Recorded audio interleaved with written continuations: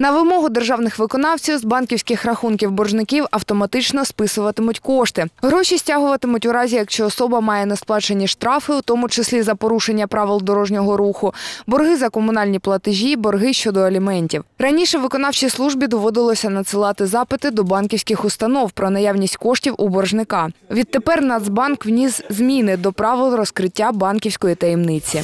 Інформація стосовно наявності та або стану рахунків боржника повинна містити номери рахунків, відкритих боржником у банку, а також суми коштів, які наявні на таких рахунках.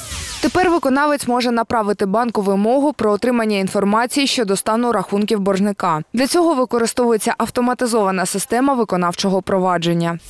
Після отримання вимоги інформаційна система банку негайно формує повідомлення про прийняття вимоги до виконання банком і відправляє його до автоматизованої системи виконавчого провадження. Інформує відповідальну особу банку про необхідність виконання відповідних процедур згідно з внутрішніми правилами банку.